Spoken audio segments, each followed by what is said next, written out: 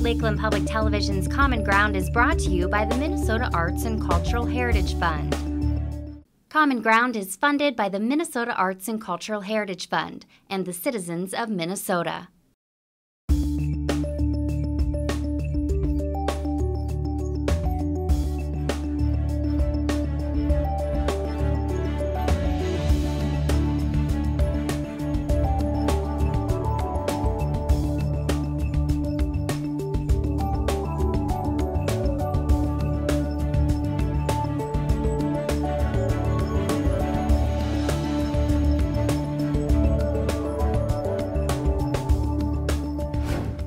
Hi everyone, I'm your host Ashley Hull, and you're going to be seeing a lot more of me this segment. We've decided to do something a little bit different. I'm actually going to partake in making a wood table today. I'm at Duane Shoup's house in Shevlin, local wood craftsman here in Shevlin, Minnesota, and we're going to be putting together a table today. I'm an amateur, but Duane has assured me that he can walk me through this process and he's more than willing to share. Um, it feels really good to me to share what I've learned over 20, 25 years of doing woodworking um, with other people and help them out with their project. And um, maybe I can inspire them a little bit. We were talking earlier about the recession and how many people aren't buying the art and the custom made furniture that they used to. But with our local art scene and the artisans that are willing to hold workshops themselves with the public, they're able to take advantage and still have that art in their home if they want. I think there's a, a little bit of a focus going on in a, a different mindset of the public in the country. The, um, things have gotten tight. People don't have as much money to spend on everything they want, so people are, I think, are getting into the mindset of being a little more self-sufficient. If you're willing to put a little sweat equity into what you want, well, then you can you can actually get something that you can afford. Mm-hmm. You know, I mean, you're going to get it at a lot lower price point if you're uh, if you're willing to do part of the work. And most people, I think, maybe have some hidden talents down there that they don't know that they have, and um, people like me might want to bring that talent out. We are here in my house, which is kind of my showroom, so Ashley can get some ideas from looking at some of the previous pieces I've made for myself. And I got great ideas because the furniture that you have here is absolutely gorgeous. Well, thank you. Uh, so I think we've decided on a walnut top and some white oak legs. Okay, Duane, so what's the next step? Uh, the next step will be go out to my wood building and find some raw material to make this table out of. All right, let's go. So how much raw material do you keep on site? I have a rather large inventory of raw material that I keep on site here that I've accumulated probably over the course of 15, 20 years, and some of it's well aged. One of the things I do, I need, I need to pick your brain a little bit about um, a little bit about style. Okay. Since I'm, you know, started in a lot of what I do is this rustic thing. Um, do you want something with a natural edge on it? I just want something or that says want... this is a Duane Shoup custom built piece of furniture. Original. Original. okay, so this is my dry storage building. Okay. Oh my gosh, it's massive. And this is a little bit of my wood stash. Okay, um, so we're looking for a walnut. Okay, see I got some walnut boards up there that are not real huge, but we're not making a really big top anyway. Okay. And so this is this is one of the hardest parts about doing about doing a project like this. It's coming out here and here. You got this to deal with, and we're going to make this. And so decide, you know, picking out what we're going to use for raw material with this kind of a somewhat of a design vision in your head. Okay, I'm.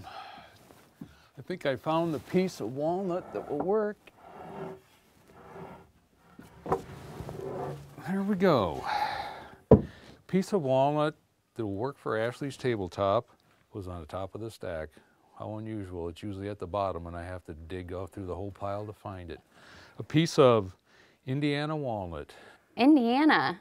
I'm an Ohio girl. Well, but Indiana walnut I think will work. it will. It's close. Perfect. Oh, it's gorgeous. Ready, let's head back to the shop and start making a table. Okay, so now the process is just figuring out which grains are actually going to be exposed on the table.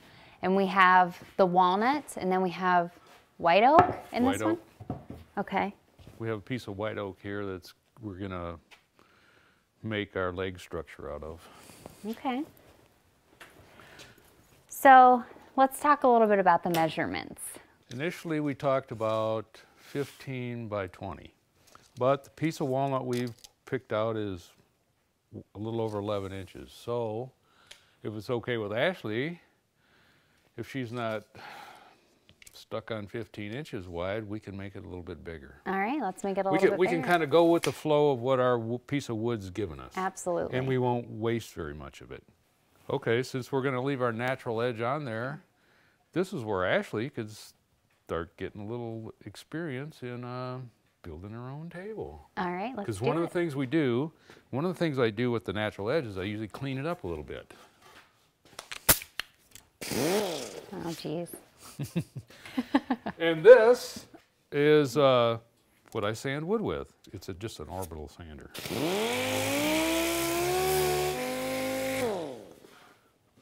So, Ashley's a beginner, but this is a good thing. This is a good thing that anybody can kind of get their head around and get their hands on, and it's uh, not too difficult to operate. And there, there. Okay. Oh, wait, wait, wait, wait, wait. Okay, see where I told you to, from from the center out.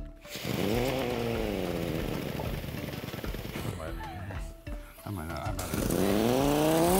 It's got a trigger on it, so sometimes. Oh, okay. Should I stand over here, or is it funky the way I'm standing?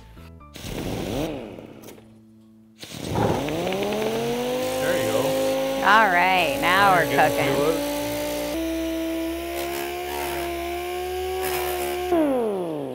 it. All right, so I'm taking them. So we're just we're just trying to get a kind of a consistent look. Okay. was me, I'd say that's good. Good. We dressed up the edge.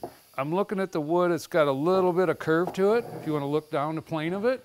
Okay. Oh, so see how it's got a little bit like mm-hmm. that, a little curve going to it? Yes. So generally, when I'm making a table, I would like to keep that curve on the outside. Okay. So this will be our finished edge that we want to keep. And we sanded it. All right. This one piece is going to make a wider table, so we need to split it in two.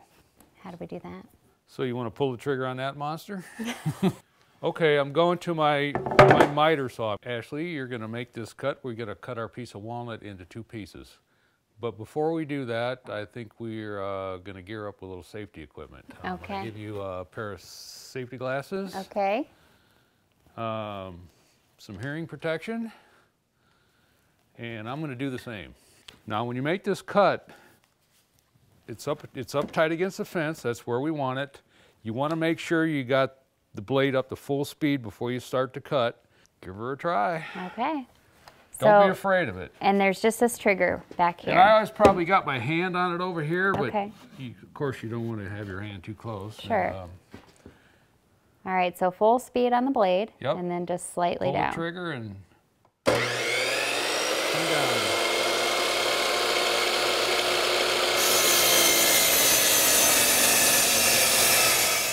Okay, uh, we have our two pieces right. that we're going to make our tabletop out of. The next thing I need to do is I need to take some material off the inside pieces so I get a, a nice fit to fit them together. And, and to do that, I'm going to use the bandsaw. I am going to get myself a straight edge to follow marked onto the piece of wood. Okay. Okay, so the point of the bandsaw is just to get it as straight as possible, but I'm going to go ahead and watch you demo for me. Okay, And then I'll, cut the I'll second cut the first piece. one so you can kind of see what I'm doing. Sure.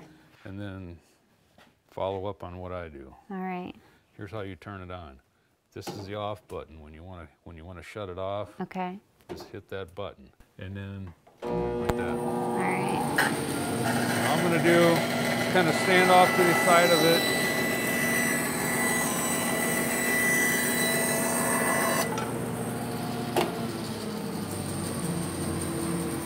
Natural. I've had a lot of practice.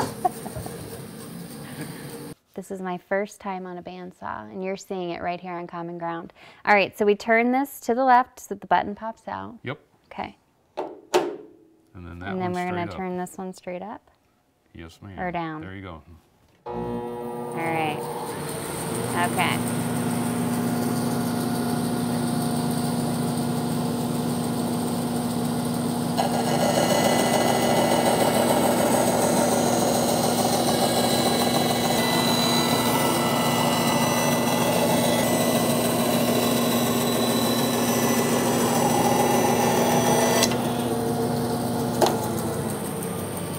For the first time, not, too bad. Not, too bad. for your first cut, Shave a little off the end there. but not bad. You did a pretty good job following the All line. right. Okay, the next thing we want to do is go to the jointer and we're going to clean up our cut. Okay.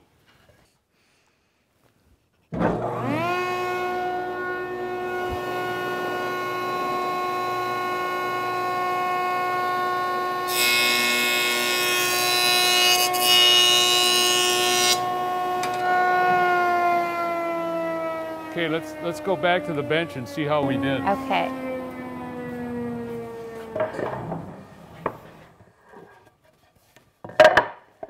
We might have to do a little a little minor adjusting yet. Okay. And then if it's not flat, then I can kind of look and see which corner is, is, is high, this corner and that corner. It would be great if wood grew square and straight and Sure. flat and dried that way. It would be wonderful, but it never happens.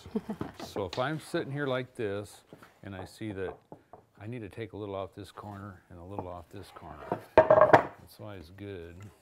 Put a little X on there. And just by shaving it with the planer, that's just going to give you that little bit that you need to get rid of the wobble. I, want to I want to get rid of that wobble out of there. So it's this corner and this corner. Okay. So then how do you know where to start? I mean, do you just start right in the middle or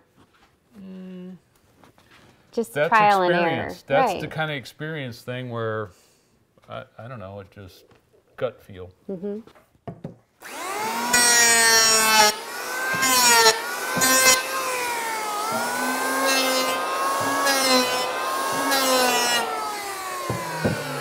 literally is just a little bit. Look at that. We're on Pretty close. pretty close. The next thing we're going to do is we're going to take it out to the wood planer and we're going to surface it. Okay. So we're going to clean this edge up and we're going to get it all the same thickness. Okay, the first thing about the wood planer is I need to uh, need to set the depth. And it's pretty simple. It just feeds the board through on its own. You don't have to really do much.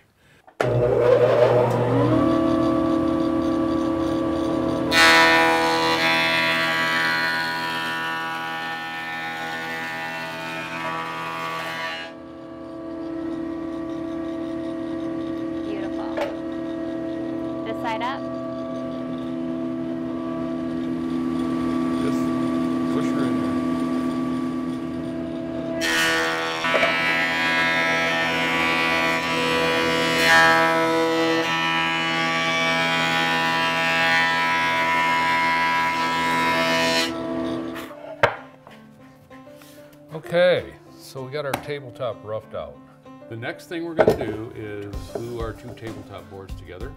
Probably whenever I'm gluing something together, the first thing I wanna do is put a little clamp pressure on it. If I don't have this milled right, it might, it might cup up or something. And I can also use my straight edge. Looks pretty good. I'm gonna get some glue, high-tech uh, mustard bottle. Okay. Just squeeze out a nice little bead on there. There you go. Probably a little more. That's good. Yeah, there you go. Good, good. That's plenty. Perfect. You look like you've done that before. Then you get your finger right in there and spread it around Okay. over everything. Yeah, I would just go like this, kind of like. Yeah, there you go. Almost more fun than Play-Doh. Then you want to give it a little clamp pressure, but you don't have to squeeze it real hard. And see how we got a little a squeeze out there? Sure. That's what we're looking for, because that way we know we got glue on everything. Okay. And we'll clean that up later after that dries some. We're going to cut legs out of this piece of white oak I have over here leaning up against the bench. So the next step is going to be to whittle this down a little bit. All right. I think it's a little bit big for a leg right now. Okay. You know what I'll have you do? Yeah, I'm gonna grab that and we'll set it right on that corner of that table there. Okay. Safety first. Right. right. We want to protect ourselves from flying splinters.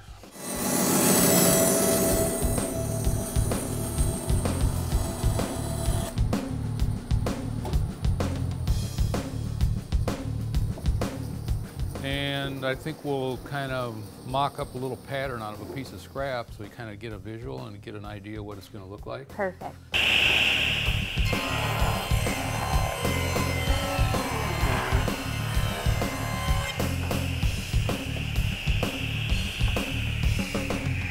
Now we can go back to our table and get another look at it.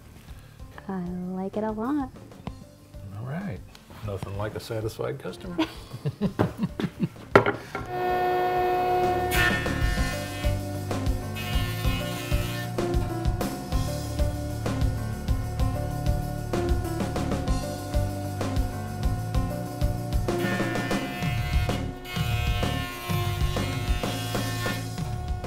Okay, here's our pattern piece, and here's a piece I've milled out for the leg stock, and I'm setting that on there.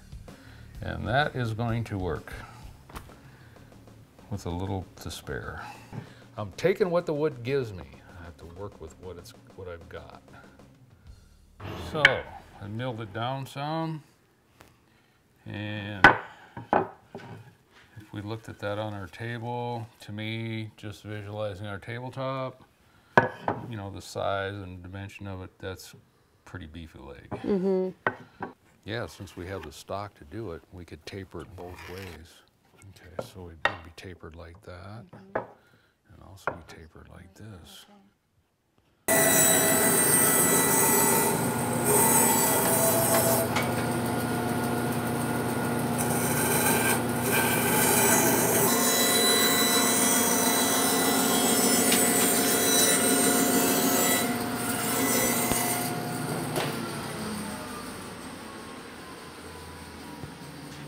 Love it.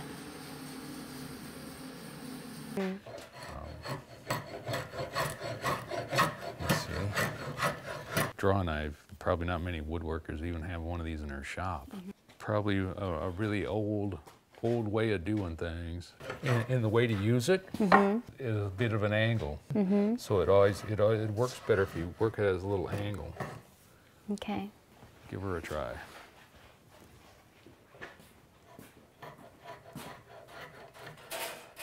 Now you're going to find sometimes the way the grain runs and mm -hmm. things that it's going to want to dig into the grain. Mm -hmm.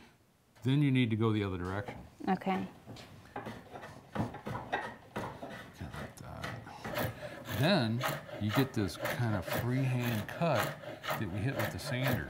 It just gives it that little bit of imperfection to know that it's handmade, handcrafted. The next phase is going to be to decide my apron how, how deep do I want my apron? I've, I've got a piece of wood here that I can mill some apron material out of. Okay, I'm cutting my uh, apron stock down to two and a half from about three. And we're gonna see what that looks like. That's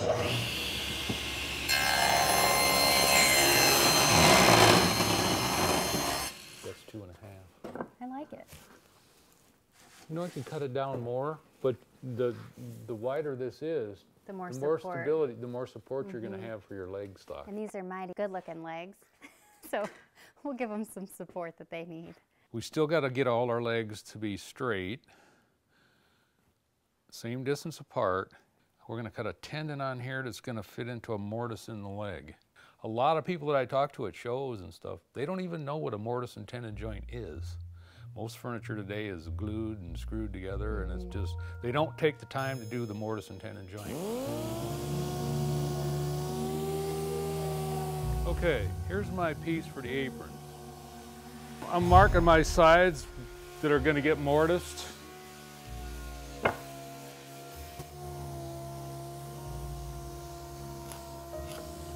We'll have a mortise that comes from this line down to the end. Now, we've moved to the hollow chisel mortiser to make our mortise. And what this is, is basically a big drill press. It has a square bit, which is a chisel, and it has a drill bit that runs inside that. And the chisel actually shapes the inside of the hole, and the bit pulls out the wood. The machine works better if you don't drill each hole right next to each other. You want to drill a hole here, you want to skip a little space. Same thing as you work your way down the line. Then you come back after you've worked your way down the line and take out those center parts.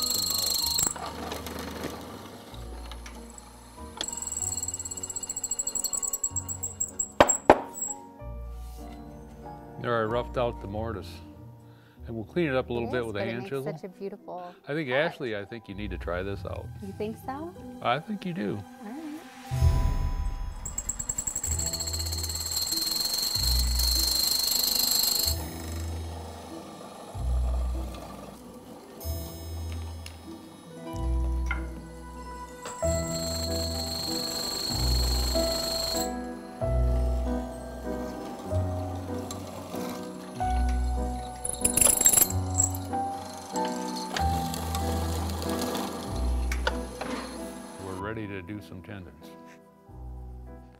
Get me a couple pencil marks on there just as a little bit of a guide. We're going to use little one of shop-made jigs for making tenons. The trick to making this tenon is to get the right width that's going to be snug into the mortise. Clamp it in, nice and snug. This side runs up against the fence, and that's how that's how I will get my adjustment. And what I'm going to do is kind of get an eyeball on that pencil mark, and I'll cut it a little, what woodworkers would say, proud first, a little oversized.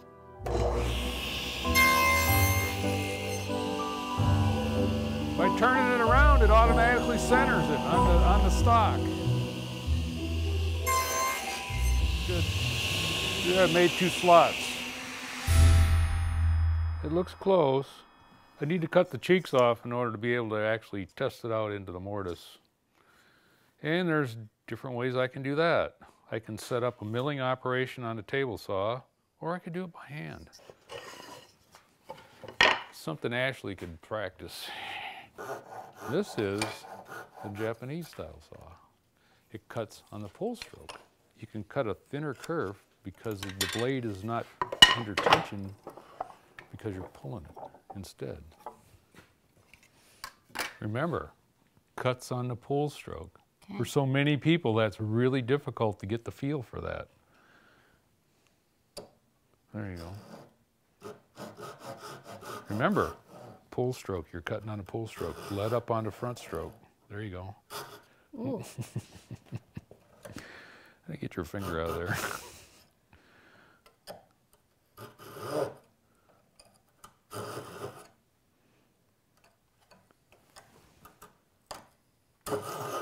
Not to push on it too hard. Okay. Doesn't that cut much easier? Okay, now after all our hard work, our milling operations, we get to assemble it and see what it looks like. All right.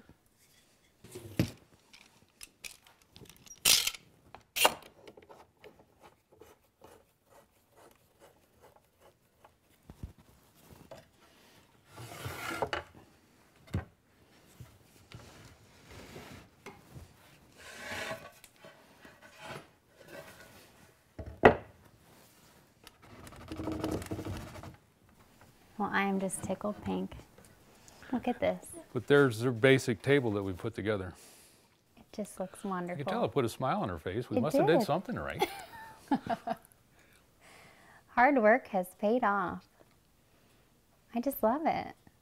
But now you kind of get a little understanding of what goes into making something like that. Absolutely. It was a, a bit of work, isn't it? Oh. And some effort. More than a bit.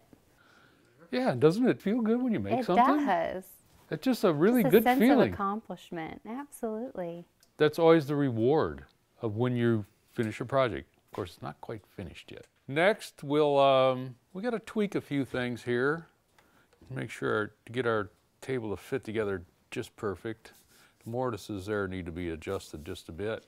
Um, then we can glue it together, sanding, finish sanding, and finishing, and it'll be done. It's our rustic modern look. Mm-hmm. Kind of refined, but we're kind of running with a hand draw knifed edge and a natural edge on the edge of the tabletop. I, th- I think it has a bit of an elegant look, It pretty does. refined. But we've also got a little hand draw knifed edge on here that I mean, look how pretty this grain is here. It's just beautiful. Just the natural wood itself is gorgeous. We've left the natural edge of the tree on this side. So we got a little of that Mother Nature thing going on. Rustic modern. I like it. I do too. Good. It's gonna look so good in the perfect spot that I have for it.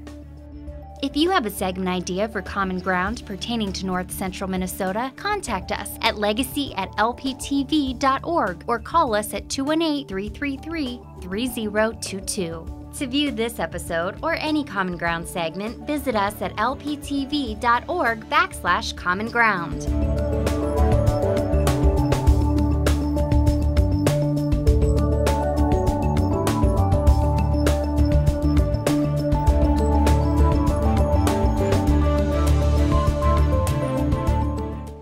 To order individual segments or copies of Common Ground, please call 218 333 3020.